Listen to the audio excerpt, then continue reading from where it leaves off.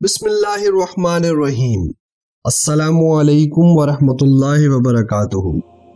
निज़ाम हुकूमत में शोबों के कयाम के अलावा बैतुल माल का शोबा भी फारूक आज़म के अहद में कायम हुआ, क्योंकि इससे पहले हुकूमत की तमाम आमदनी उसी वक्त तकसीम कर दी जाती थी। लेकिन हज़रत उमर रज़ी अल्लाह ताला के दौर में जब फतूहात का दायरा वसी हुआ तो आमदनी भी बढ़ी। इस बढ़ती हुई आमदनी के तहत ये ज़रूरी हुआ कि बैतुल माल कायम किया जाए। चुनाचे सहाबा रज़ी अल्लाह तहों के मशवरे से आपने पंद्रह हिजरी में इसकी बुनियाद रखी। सबसे पहले मदीना मुनवरा में बैतुल माल कायम किया गया और इसकी निगरानी का काम अब्दुल्ला बिन अरकम के सुपुर्द किया गया।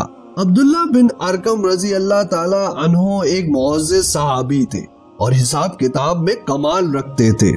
मदीने के बैतुल माल को मरकजी बैतुल माल की हैसियत हासिल थी। इसके अलावा दीगर सूबों में भी बैतुल माल कायम किए और इसकी निगरानी और हिसाब किताब के लिए एक एक अफसर खजाने का तकर्र हुआ।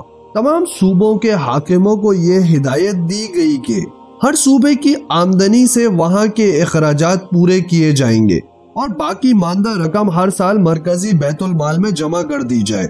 बैतुल माल क्योंकि सरकारी खजाना था और इसकी रकम से तमाम सूबों और मरकज की जरूरियात पूरी की जाती थी। इसलिए इसके हिसाब किताब निहायत सही तरीके से मुरतब किए जाते थे। अक्सर खलीफा सानी इसकी जाँच पड़ताल खुद करते थे। बैतुल माल की इमारतें खास तौर पर बनवाई गई थी। कूफे में बैतुल माल के लिए पहले एक महल तामीर हुआ, जिसको बाद में मस्जिद की इमारत से मिला दिया गया। ताकि चोरी का खदशा ना हो। इराक पर कब्जा होने के बाद हज़रत उमर रज़ी अल्लाह ने अखराज के नज्म नस्क की तरफ़ तवज्जा दी और इसके लिए इराक के मरदम शुमारी और ज़मीन की पैमाइश कराई और ये असूल कायम किया गया कि जो ममालिक फतह किए जाएँ, वो किसी की मिल्कियत नहीं होंगे, बल्कि हुकूमत के मालिक करार पाएँगे और पिछले काजबीन को बेदखल नहीं किया जाएगा। फारूक आज़म रज़ी अल्लाह तहों के अहद हुकूमत में इराक, शाम और मिस्र तीन बड़े मुल्क थे।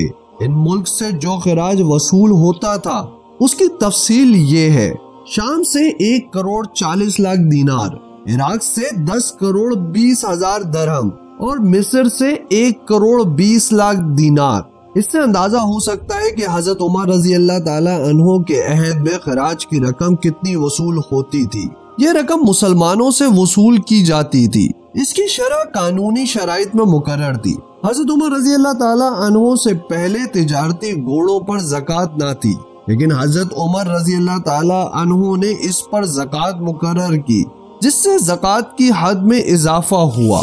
सल्लल्लाहु वसल्लम के जमाने में माल गनीमत हुकूमत की आमदनी का एक ज़रिया था। लेकिन आप सल्लल्लाहु अलैहि वसल्लम के अहद में ये रकम उसी वक्त तकसीम कर दी जाती थी। हज़रत उमर रज़ी अल्लाह के दौर में फतूहत की कसरत के बाइस इस रकम में बहुत इजाफा हुआ। इसलिए जरा आमदनी में अहद फारूकी रज़ी अल्लाह तहों में माल गनीमत एक अहम ज़रिया था। इसकी शरह भी हुजूर अकरम सल्लल्लाहु अलैहि वसल्लम के जमाने से मुकर्र थी। हज़रत उमर रज़ी अल्लाह तहों ने जमींदारी और मिल्कियत ज़मीन के कदीम कानून को जो जाबराना था, यकसर खत्म कर दिया।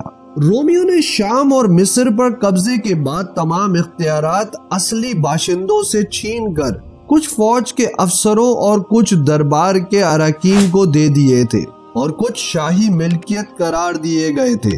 असली बाशिंदे इस हक से महरूम रहते थे। हज़रत उमर रज़ी ने इस जाबिराना निज़ाम का खात्मा करके जागीरें मुल्क के असली बाशिंदों के हवाले कर दी। इससे रियाया की बहबूदी और खुशहाली में नहायत इजाफा हुआ। उम्मीद करता हूँ कि आपको ये वीडियो पसंद आई होगी। मजीद वीडियोस के लिए मेरे चैनल को सब्सक्राइब करना ना भूलिएगा और इस वीडियो को लाइक ज़रूर करिएगा। अपने अपने दोस्तों और रिश्तेदारों का बहुत ख्याल रखिएगा और मुझे और मेरे घर वालों को दुआओं में याद रखिएगा। अल्लाह हाफिज।